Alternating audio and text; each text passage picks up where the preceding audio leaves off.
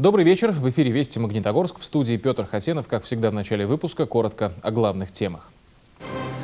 В управлении внутренних дел города новый начальник. Главным полицейским магнитки стал полковник Михаил Иванов.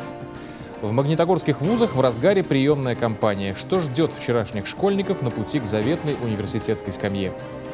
Магнитогорцы стали лучшими на всероссийском турнире по математике. Подготовка к будущим победам продолжится большую часть лета. Сегодня в Магнитогорске представили нового начальника управления внутренних дел. Им стал полковник полиции Михаил Иванов, ранее занимавший пост начальника УВД города Каменск-Уральский. Михаил Иванов начинал службу в Белоруссии, затем возглавил одно из подразделений УВД Свердловской области. С 1994 года проходил службу на оперативно начальствующих должностях в Главном управлении внутренних дел по Свердловской области. Начинал работу на Урале в должности оперуполномоченного межрайонного отдела по борьбе с наркоманией, проституцией, распространением СПИД и правонарушениями, связанными с иностранными гражданами. Новый начальник управления внутренних дел сегодня познакомился с личным составом, а мэр города Евгений Тефтелев вручил благодарность бывшему начальнику УВД Магнитогорска Александру Осипову. Моя служба вся прошла на ваших глазах. Это милиционер, оперуполномоченный уголовного розыска, начальник уголовного розыска, начальник УГУ, так по служебной лестнице до начальника УВД города. Мне бы хотелось выразить искренние слова благодарности всем присутствующим здесь за взаимопонимание, за то, что мы с вами этот нелегкий труд на протяжении 30 с лишним лет вместе несем. Александр Осипов проработал в органах внутренних дел более 30 лет. И еще одно новое назначение в Магнитогорской таможне. Начальником Магнитогорского железнодорожного таможенного поста Магнитогорской таможни назначен Батырхан Каликанович Бермухамбетов, капитан таможенной службы. В 2002 году он пришел на службу в таможню инспектором Николаевского таможенного поста Варнинский район Челябинской области и прослужил до начальника таможенного поста. Батырхан Каликанович большое внимание уделяет профилактике коррупционных проявлений. Под его руководством коллектив Николаевского таможенного поста достиг хороших показателей. Для граждан, которые имеют право на льготы по оплате услуг ЖКХ в Челябинской области, заработала специальная горячая линия. Специалисты Министерства социальных отношений региона готовы разъяснить новый порядок компенсации данных затрат. Напомню, с 1 июля, согласно требованиям федерального законодательства, льгота на оплату жилищно-коммунальных услуг производится в компенсационном порядке, исходя из фактических начислений. Компенсация расходов на оплату жилищно-коммунальных услуг за июль будет произведена во второй половине августа августа. А в Челябинске полным ходом идет реконструкция дворов. Комиссия городской администрации проверила, как со своими обязанностями справляются управляющие компании. Результаты огорчили. Почему пока благоустройство дворов не идет на благо собственникам, выяснили наши коллеги из Челябинска. Программа по благоустройству подразумевает, что жители сами определят, каким будет их двор. Однако некоторые управляющие компании составили план реконструкции на свое усмотрение и элементарно не посчитали, сколько в доме детей, сколько автомобилистов. Вот результат. Машины стоят прямо на спортивной площадке. Мы куда только не писали, участковому, в администрацию. Нам пришел отказ. Машин много, машин ставить некуда. Найти место и для парковки, и для детской площадки непросто, но решаемо. Однако управляющие компании, видимо, боясь разногласий собственников, даже не пытаются собрать их вместе и учесть все интересы. В результате люди плохо представляют, во что превратится двор после масштабной перекройки. Я э, категорически против того, чтобы мы вкладывали бюджетные деньги в благоустройство и получали негатив от населения. Мы вкладываем деньги для того, чтобы сделать э, жизнь людей удобнее. Прислушаться к мнению жителей управляющим компаниям все же придется. Сергей Давыдов заявил, что некоторые проектные решения никуда не годятся, и их стоит пересмотреть с учетом пожеланий собственников. Кстати, в руках у жителей будет и другой козырь. В приемке выполненных работ будут участвовать представители собственников в обязательном порядке. Без подписи э, собственника дома, э, который выбран на собрании, денежные средства подрядчикам оплачиваться не будут. Скидываться на реконструкцию двора жителям не придется. В течение пяти лет в Челябинске благоустроят все придомовые территории за счет федерального и муниципального бюджетов. Однако, оплатив 5% от общей стоимости ремонта, собственники смогут участвовать в программе без очереди. Наталья Пастухова, Владислав Отрыванов, Вести, Южный Урал.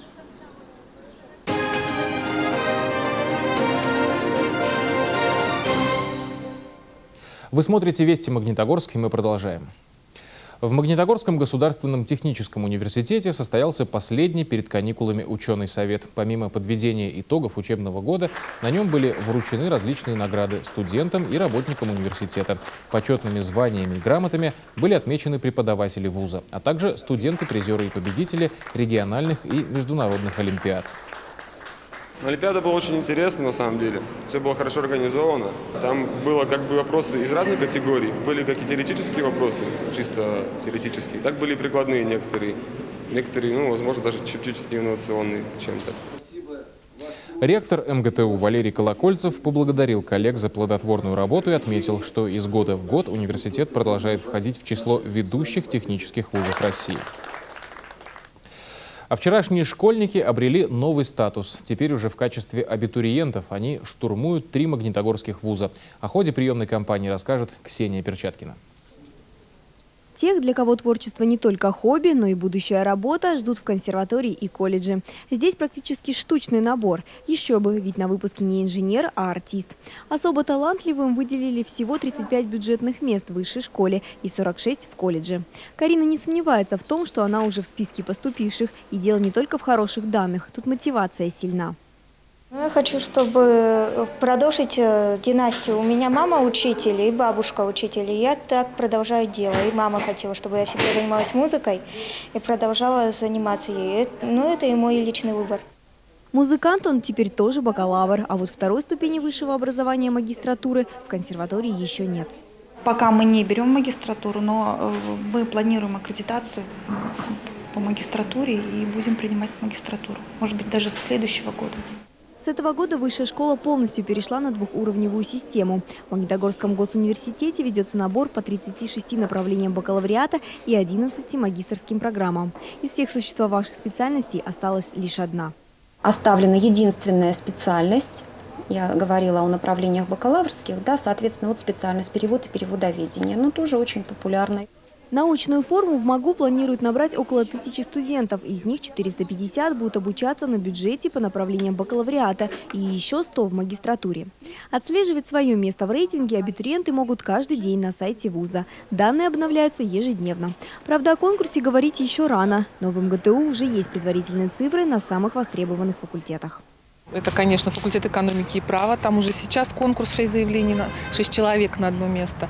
А кроме того, архитектурно-строительный факультет пользуется у нас повышенной популярностью. Там тоже у нас уже конкурс, в общем-то, э, заявлений уже больше, чем мест бюджетных. И э, большим спросом пользуется у нас э, теперь Институт энергетики и автоматики. В техническом вузе бюджетных мест меньше, чуть больше 300. Зато специалитет остался на факультете горного дела, на механико-машиностроительном и в Институте энергетики и автоматики. Прием заявлений на научную форму обучения в МАГУ МГТУ продлится до 25 июля. Ксения Печаткина, Сагит Бакиров, Вести Магнитогорск. Ну а те, кому еще предстоит получить звание абитуриент, продолжают радовать успехами. Магнитогорские школьники стали лучшими на всероссийском турнире по математике. Ученики школы номер 5 вернулись из Костромской области с победой в командном и личном зачетах. Обойти удалось 11 сильнейших математических команд из со всей страны. С победителями встретился сегодня и наш корреспондент. Сильнейшие математики страны живут в Магнитогорске. Среди школьников шестых классов им равных нет. Эта великолепная шестерка без шансов на победу оставила 11 команд страны. Четыре математических боя, ни единого поражения. А ведь в начале турнира магнитогорскую команду и в расчет не брали. В нас вначале не видели лидеров, потому что начинается это с командной олимпиады. И командная олимпиада примерно показывает, какой результат может показать команда. И по командным мероприятиям мы где-то выходили на третье-четвертое место. Задача составляет составляли накануне каждого тура по всему курсу математики. Победители говорят, сложностей не было, состав собрался отменный. В довесок к главному призу победа капитана команды в личной олимпиаде. Очень много логики в математике, так что там не только цифры. И как бы красота многих решений не в цифрах, а именно в том, что можно решить коротким логическим, ну, логическим путем, то есть найти решение чисто в задаче. Когда решаешь задачи, ну, мы называем их гробы, которые очень трудно решить. Когда их решаешь, очень такое чувство, как будто ты поборол очень какого-то сильно. В летние каникулы учеба не заканчивается. Небольшой перерыв и школьников ждут математические лагеря. К новому учебному году, а значит и к новым турнирам, готовиться нужно регулярно. Елена Астайна, Антон Грабарев, Вести, Магнитогорск. Открытый вернисаж под открытым небом. Ко дню своего рождения Челябинск получит необычный подарок. В центре города появится уникальная экспозиция живописи, которая впервые разместится не в галерее, а на фасадах зданий. Как это будет, попытались представить наши коллеги из Челябинска. Шедевры «Проводы» Лебедева и «Запоздали» Богданова появятся на здании гостиницы «Южный Урал», а пушка леса Шишкина украсит самый центр главной площади Челябинска. А чуть дальше на здании главной библиотеки области появится копия портрета Елизаветы Алексеевны размером в высоту более двух с половиной метров, практически натуральную величину.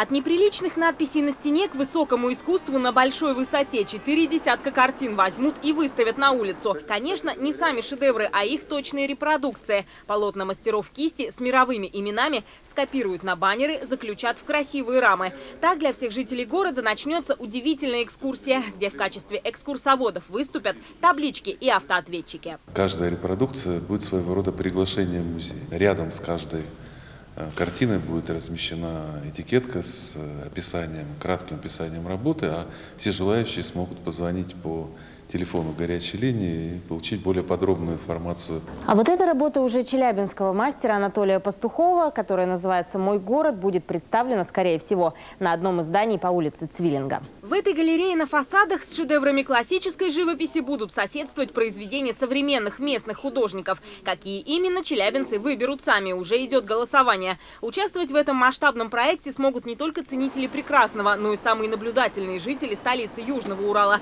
Организаторы акции полиции придумали специальный телефон для сообщений об актах вандализма. Люди бывают разные, но все-таки наша главная надежда, что культурный уровень челябинцев э, очень высок. Мы надеемся, что челябинцы будут беречь эти картины как настоящие хранители э, музеев берегут оригиналы, которые находятся в запасниках нашей картинной галереи. Искусство станет ближе, чтобы челябинцы в ответ тоже стали ближе к искусству. Ведь большое, как известно, видится на расстоянии. Ксения Комиссарова, Владислав Отрыванов. Вести. Южный Урал.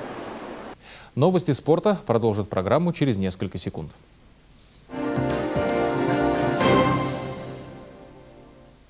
Лучшие гребцы Уральского округа приехали в Магнитогорск. Завтра на гребной базе возле центрального перехода стартует первенство ОРФО по гребле на байдарках и каноэ. Неделю спортсмены будут бороться за право поехать на первенство России. Магнитогорск на эти соревнования выставит около 15 спортсменов. Участвовать наши гребцы будут во всех дисциплинах. Завтра же после полудня состоятся первые финалы.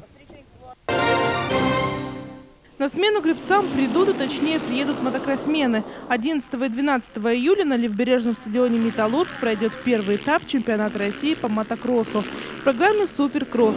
Магнитогорский клуб представлять будут пять спортсменов. У двух есть шанс оказаться на пьедестале. Мария Дронина, Вести Магнитогорск. И на этом наш выпуск завершен. Впереди прогноз погоды. Если вы стали свидетелем необычного интересного события или знаете что-то заслуживающее внимания, позвоните нам, и мы расскажем об этом в наших информационных выпусках. Телефон редакции на ваших экранах. А я желаю вам всего хорошего. Смотрите «Вести» и до завтра.